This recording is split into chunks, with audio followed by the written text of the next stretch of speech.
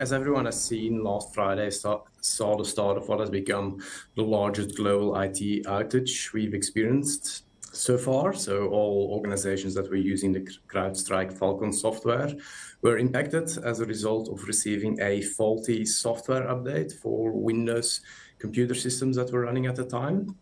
And as you already mentioned, a large number of organizations and sectors were impacted. And myself being based in Australia, uh, all, uh, a lot of the airlines, banks, supermarkets, petrol stations, etc., were impacted one of the consequences of the faulty software update was that these systems were no longer being able to function and then and could also not be rebooted and requiring um, manual intervention to get to operations again.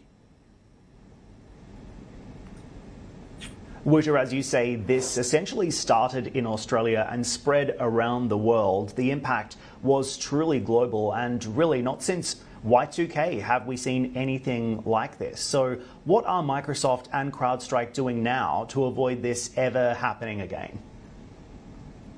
So there are a few things that CrowdStrike and Microsoft have already done. So firstly, on Friday, CrowdStrike has reverted the, um, the faulty software update and that was being released. So any companies that had not received the update since should be okay now to update the software. Now, unfortunately, most of the systems that crashed were unable to be restarted successfully and required manual intervention to apply what is called a workaround. And, um, and, most of the companies have been working very hard and diligently over the weekend to restore um, their most business critical systems. Um, now, a lot of complications have arisen as well, um, especially in the event where Windows systems used disk encryption these um, to be able to restore these systems required a number of additional steps, um, introducing the complexities about getting systems back up and running.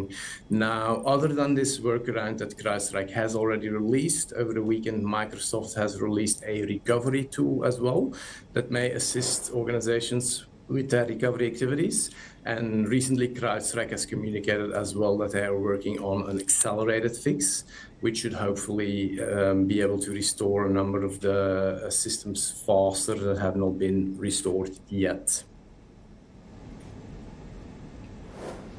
And as you say, the restoration and recovery still underway, but the finger of blame is being pointed in multiple directions here because this, this incident really exposed just how vulnerable businesses can be to the technology risks. So, who do you think is ultimately responsible for this outage? Is it CrowdStrike? Is it Microsoft? Or is it the end user?